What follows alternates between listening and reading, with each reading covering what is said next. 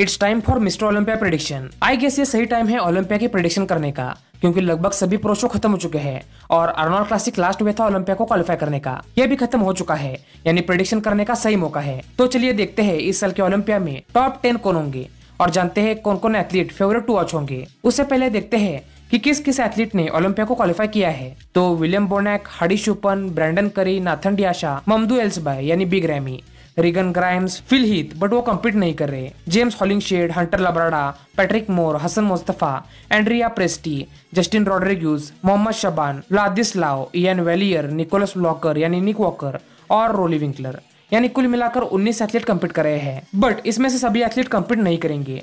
Fill ही तो obviously खेल नहीं रहे बट वो क्वालिफाई है।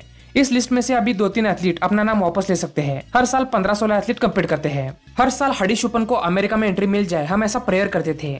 बट इस बार ऐसा लग रहा है कि विलियम बोनैक और बाकी कैमल क्रू के मेंबर जैसे कि Roelly Winklaar Nathan De Asha Brandon Curry इनके लिए करनी पड़ेगी। आपको पता है विलियम को अर्नॉल्ड क्लासिक के लिए ट्रैवल इश्यूज़ की वजह से अमेरिका में एंट्री नहीं मिल पाई। आशा करते हैं कि वो जल्द से जल्द अमेरिका में एंटर कर ले, वरना एन मौके पर ट्रैवलिंग की वजह से शो मिस कर देंगे।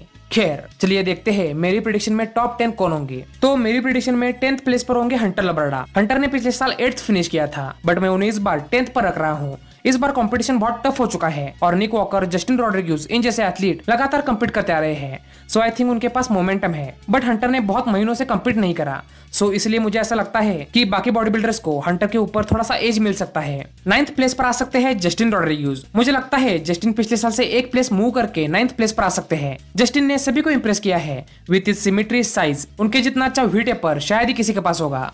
Wide lat small waist thick chest उन्हें नाइन्थ प्लेस दिला सकती है। बस उन्हें वो इंडी प्रो वाली कंडीशनिंग लानी पड़ेगी। उनके पास अर्नल क्लासिक वाला मोमेंटम है। उसका वो फ़ायदा उठाकर ओलंपिया में कमाल कर सकते हैं। लेट्स होप एट्थ प्लेस पर रह सकते हैं रोली विंकलर अगर वो कम्पीट करते हैं तो। रोली ने यूरोपा प्रो में सेकंड प्लेस हासिल करके ओलंपिया को जैसे तैसे क्वालिफाई किया है। हमें पता है कि वो कितने डाउन साइज़ लग रहे थे। वो बीस रोली विंकलर नज़र नहीं आए। इतने कम टाइम में मुझे नहीं लगता कि रोली उस साइज़ को मैच कर पाएँगे। बट फिर भी रोली कम्पीट करते हैं तो रेपुटेशन की वजह से एट्थ प्लेस मिल सकती है। उससे पहले ये देखना होगा कि वो कम्पीट करेंगे या नहीं। मुझे थोड़ा मुश्किल लग रहा है।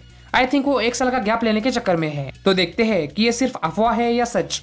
सातवीं प्लेस ले जा सकते हैं सभी के फेवरेट इयान वेलियर इयान के पास शायद कोई बंगाली बाबा की जड़ी बूटी है, जिसकी कृपा से वो हमेशा एक्सपेक्टेड प्लेस से आगे निकल जाते हैं। इसलिए मेरी प्रोडिक्शन में वो सेवन प्लेस पर होंगे। जोक्स अपार्ट बट इयान ने रियली अच्छे इंप्रूवमेंट्स करे हैं in terms of size and conditioning और इयान ऑलरेडी बहुत सारे शोज़ को खेल कर रहे हैं, इसलिए उनके पास कॉन्फिडेंस बहुत अच्छा है। इसलिए seven place Iain Valliere six place पर रखूँगा नाथन डियाशा को। नाथन डियाशा कैमल क्रू के साथ जाने के बाद कुछ अलग लेवल पर पहुँच गए हैं। वो मस्कुलर फ्रीकी तो हुए ही है बट कंडीशनिंग अच्छी कैरी कर रहे हैं। हमने यूरोपा प्रो में देखा था और उनकी कुछ अपडेट वीडियो में देखा है। नाथन मेरे वाइल्ड कार्ड होंगे।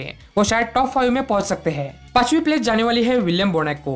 आई थिंक उन्हें पिछले साल वाली सेम पोजीशन मिलने वाली है। मैंने उन्हें फिफ्थ प्लेस पर इसीलिए रखा है, क्योंकि हमने उन्हें अब्दुल्ला के साथ ट्रेन करने के बाद नहीं देखा। क्या अब्दुल्ला उन्हें सूट हुए या नहीं, ये देखना बाकी है। अगर अब्दुल्ला अपने रेपुटेशन के हिसाब से चलते हैं तो विलियम को और बढ़िया प्लेस मिल सकती है। तो देखते हैं, विलियम कितनी जल्दी अमेरिका में आ पाते हैं, और उनका ट्रेवल इश्यू सॉल्व होता है या नहीं। फोर्थ प्लेस में देना चाहूँगा निक वॉकर को। निक ने सभी को ऑलरेडी इंप्रेस कर रखा है। उनकी साइज़ मास फ्रिकीनेस के सभी फ़ैन है। उसके साथ उनकी हार्डनेस कंडीशनिंग बॉडी को कहीं से कहीं पहुँचा देती है। निक वॉकर सही में मास मॉन्स्टर है। मास में वो रैमी से टक्कर ले सकते हैं।